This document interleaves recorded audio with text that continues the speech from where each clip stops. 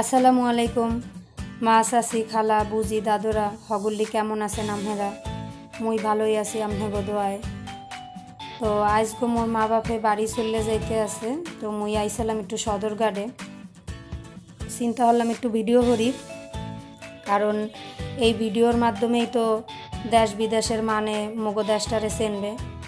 তো সদরঘাট হয়েছে মগো বাংলাদেশের সবচেয়ে বড় নদী বন্দর। তো এই সাইডেই দেশের সব জায়গায় বড় বড় লঞ্চগুলো সাইডে যায়, যে যে জায়গায় যাওয়ার। তো একটু ভিডিও হলাম এই যে পোলাপান লাফালাফি হয়ে পড়তে আছে, গোসল টোসল হরে।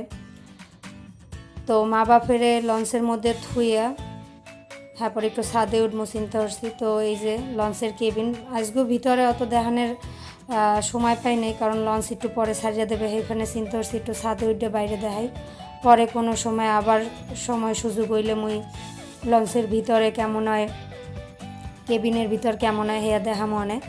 আপনারা যদি ভালো ঠান দেখতে চান কইয়েন কমেন্ট করে দেখা মনে।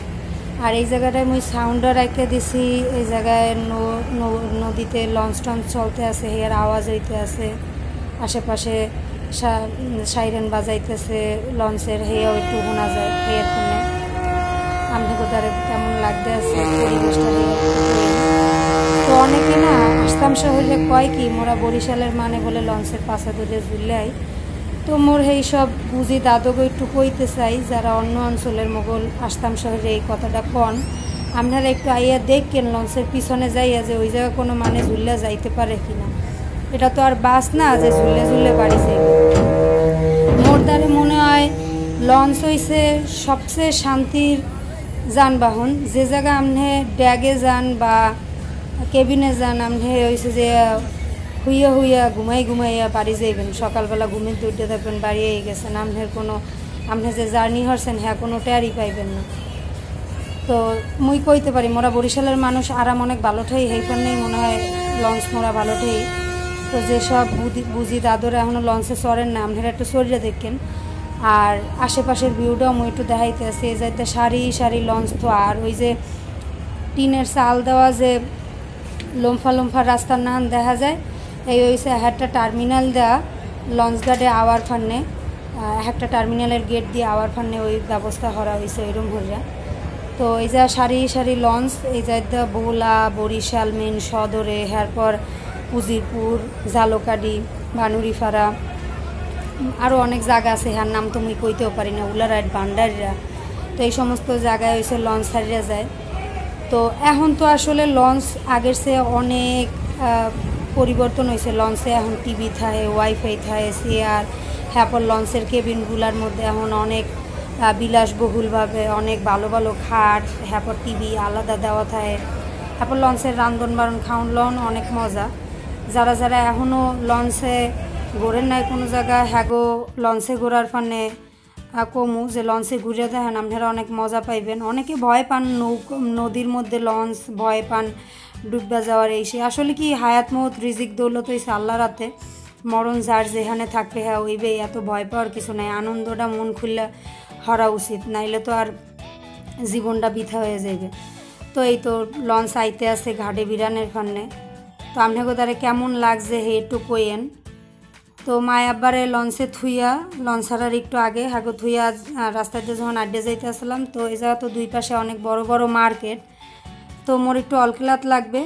তো এই জায়গায় একটু ভিডিও হলাম কে, মোর মিসেস হোম মেকার বিডি চ্যানেলে মোর পেন্টি অর্গানাইজেশন অনেক ভিডিও টিডিও দেখে, ওই যে মুই নন স্লিপ ম্যাট কই, হেয়া কোন জায়গা পাওয়া যায়, হেয়া অনেক বুঝিরা জানতে চাইছেন। তো এই দোকানগুয়ার নাম, ফোন নাম্বার মুই ডিসক্রিপশনে দিয়ে দিব অনে দোকানগুয়ার নতুন মালিক নেছে, হেয়ার ফানে কোনো নাম এখনও লেহে নাই। তো মুই ওই যে লোমফা হরা যে অলকেলাতটা থোয়া ওইটারে নিছি।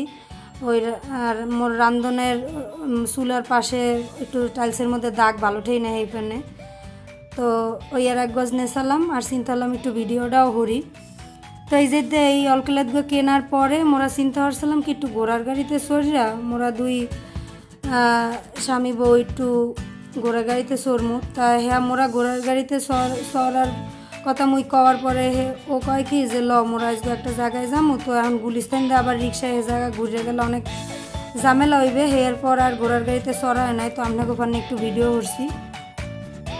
মূলত মায় আব্বাই যাওয়ার পর মোর একটু মন টনটা খারাপ হলে এর ফলে মোর স্বামী জানে যে মোর মন খারাপ থাকলে, শরীর অসুস্থ থাকলে মই একটা জিনিস অনেক ভালো ঠিক হয়েছে তেহারি। তো মোর তেহারি খাওয়ানোর ফলে অনেক ভালো নাম করা জায়গা লাগবে না। যে কোনো জায়গার তেহারি ওইলেই পছন্দ হই তেহার সবচেয়ে বেশি ভালো ঠিক তো পুরান ঢাকায় মোর এই দোকানটার তেহারি বিরিয়ানি পছন্দ হওয়ার একটা কারণ হয়েছে এই জায়গার তেহারিটা হরুয়ার তেল দিয়ে রান্ধে। আপনারা তো কন সরিষার তেল, তো মুই এই জায়গায় হয়েছে হরুয়ার তেলের তেহারি খাইতে আইছি। তো তেহারি লইছি, বোরহানি লইছি আর ঢাকার অন্যান্য জায়গায় গেলে দেখবেন কি, যে তেহারির দোকানে একটু পেঁয়াজ দিতে চায় না, অথচ পুরান ঢাকার দোকানে দেখবেন পেঁয়াজ, লেবু, কাঁচামরিচ তো দেশেই লগে। মুই কইছি কি, যে পেঁয়াজ দিয়ে একটু সালাদ করে দেন হেয়ার পর আবার এই এক থাল পেঁয়াজের সালাদ এনে দিছে। মুই কাঁচা পেঁয়াজ তেহারির লগে খাইতে ভালো ঠেই কেটা কেটা ভালো ঠেন কইয়েন। যদিও মুখ দিয়ে গন্ধ হয় এর পর একটু এলাচি, লবঙ্গ সুইংগাম খাইলে ঠিক হয়ে যায়। এই যে আমি চাটগো দিয়ে দিলাম, আপনাকে সুবিধার পান্নে কেউ যদি আন আপনারা তো তেহারি খাইছি, এখন একটু জামাই বউ মিল্লা পান না খাইলে হয়, মোরা পান খাওয়া ভালো ঠেই দুইজনে। তো পাশে এক দোকানে, যে মোরা পান খাইছি, আল্লাহর দান দোকানগর নাম মনে হয়। তো এ জায়গার পান অনেক মজা, মিষ্টি পান। মিষ্টি জর্দা খড় টড় দিয়ে পান খাইছি। সোডা লস্তি মুই পান খাওয়া অনেক ভালো ঠেই মোর নানি যখন বাইসে আসলে তখন তো ছোটো পিতলের থাল আনলে নানির পানের ঈদ মধ্যে ছোটো ছোটো যে পানগুলো বাইর হইতে হে আইনা পানের থালে হাজাই এরপর খাইতাম। তো যাই হোক, নানি নাই, পানও এখন কম খাই। আর এই হয়েছে মোর আরেক চ্যানেল। এগুলো আপনারা সাবস্ক্রাইব করেন, মোর এই চ্যানেলগুলো সাবস্ক্রাইব করে মোর লগেই থাকেন।